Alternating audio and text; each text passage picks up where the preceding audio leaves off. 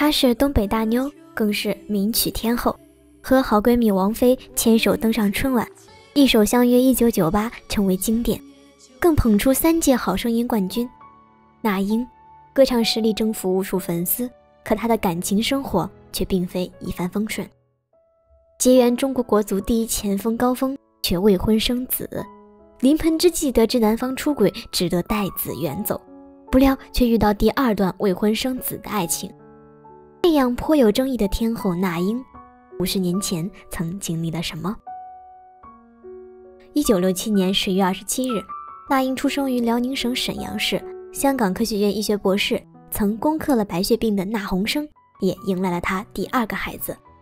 而那英家原姓叶赫那拉，和那位叶赫那拉氏的慈禧有着不小的渊源。因为家里确实曾经有皇位要继承，所以父亲希望这个孩子可以成为一个英豪，于是起名那英。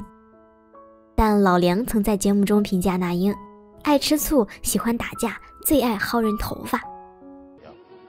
你得磨练性子，你就跟个愣头青似的，假小子似的，还好打仗，好揪人头发，说话还冲。你这暴脾气，在圈里得得罪多少人呢？这句话完美形容了小时候的那英。上学后打遍天下无敌手，但也因为打架，那英在鼻子旁边留下了细小的疤痕，这也导致他后来报考辽宁戏校和长春电影制片厂时遗憾落选。但那英小时候唱歌就会模仿老师沙哑的声音，在第三次面试沈阳歌舞团招生后，那英成为了歌舞团的一个伴唱歌手。前期那英在歌舞团的日子平平无奇，但有次临时救场。那英意外得到了观众赏识，又因为声音和苏芮极其相似，竟然有人出钱让她翻唱苏芮的歌《鹿蝶儿》，为此还给那英取了个混淆视听的艺名苏冉。从这时候起，那英的命运就和唱歌连到了一起。一九八八年，全国人才之春阳光杯通俗歌曲大赛在北京举行，那英在姐姐纳新的陪伴下参加了大赛。凭借自己独特的嗓音，从一众歌手中脱颖而出，靠一曲《我找到我自己》一举拿下了金奖。而彼时的那英，为了有更多的机会，还专门托人将自己的音乐盒带送到了古建芳手里。古建芳听完后，竟干脆地赶到大奖赛的后台，收下了那英做弟子。那英激动异常，当场就给古建芬跪下。那英是怎么来的呢？是东北的一个朋友带过来一张盘卡带，他唱了苏芮的几首歌。哎，当时听了盘嘛，呃，音响质量也不好啊，有没有看到本人？我不太好确定。那么到北京参加了比赛，我去看比赛了。看了比赛以后，我当时就决定考虑他了。而这位古建芬又是谁呢？他为何值得年轻的那英如此激动？小裴，我来给大家介绍一下。大家曾听过的《年轻的朋友来相会》和《滚滚长江东逝水》等经典歌曲，都是由古建芬谱曲。自建的古建芬声乐培训中心更捧红了毛阿敏等一众歌手，因此当时无数年轻歌手都想拜在他门下。那英也没有辜负古建芬的期望，凭借一首《山沟沟》正式进入大众视野。一九八九年，那英远赴新加坡参加春晚。一九九一年，那英等来了属于她的机会，发行了新歌《山不转水转》，这首歌成了那英职业生涯的里程碑。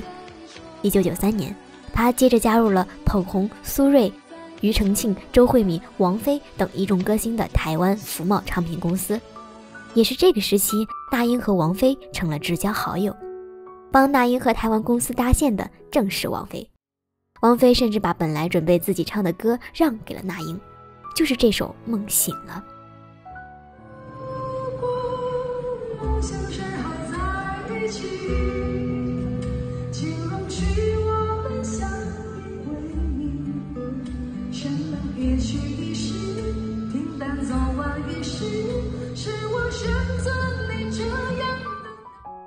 王菲还亲自给这首歌唱和声，在自己的演唱会上，惜字如金的王菲还问粉丝：“你们有没有买那英那张碟儿？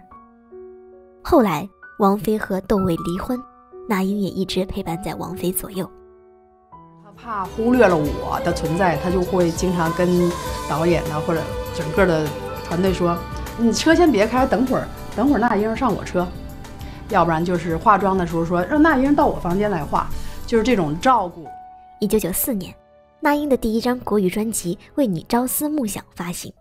一九九五年发行第二张专辑《白天不懂夜的黑》，半个月在台湾销量十五万张。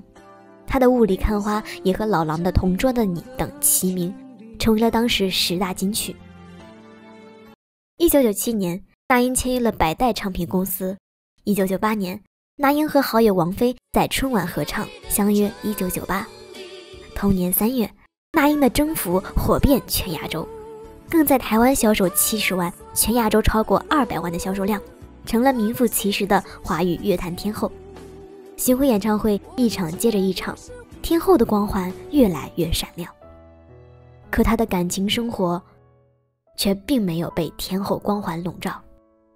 在一次聚会上。一个踢球的沈阳老乡主动和那英搭讪，正是当时在国安队踢球的中国第一前锋高峰。因为各自的工作，二人的热恋期其实很辛苦，但还是向着更美好的方向发展。那英怀了高峰的孩子，并打算结婚。可高峰的一件事儿，最终还是没瞒住。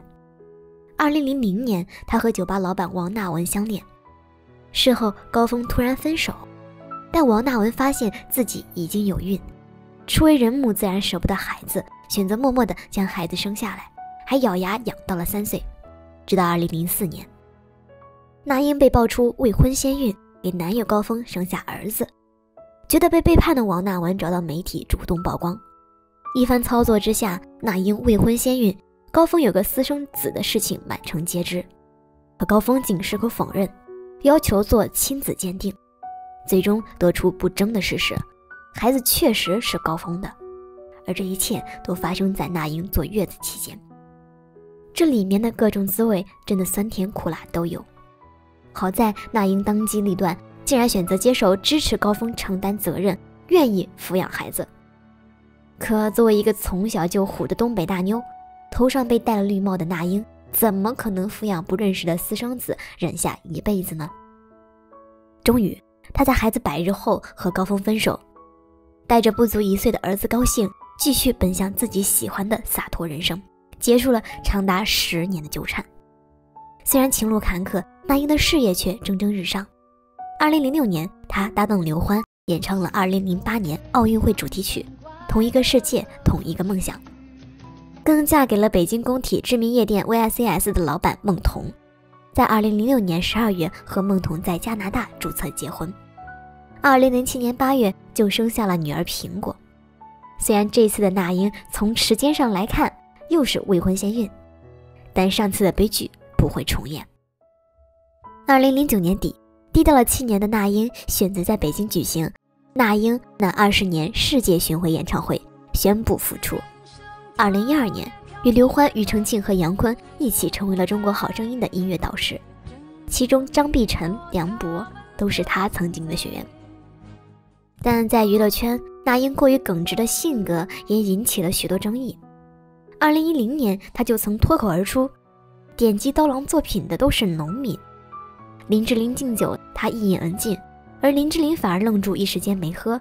那英却说：“你不喝来敬我，你装什么装？”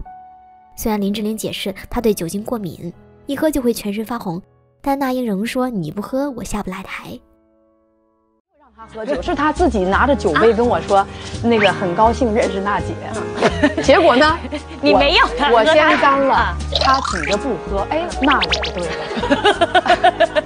这 大一杯我就喝了，我一看，你没动，我说你为什么不喝？啊，他就那个表情上，啊，然后我我当时就觉得说你装什么你装？解释虽然合情合理，但作为公众人物的那英。说话可能还是有点招黑，或许这就是她的独特之处吧。最近，那英也参加了《乘风破浪的姐姐二》，不知道在这里她又会怎样的语出惊人。好的，这期视频就到这里，祝大家天天开心，喜欢这期视频的小伙伴，不要忘记点关注。那么我们下期再见，大家拜拜。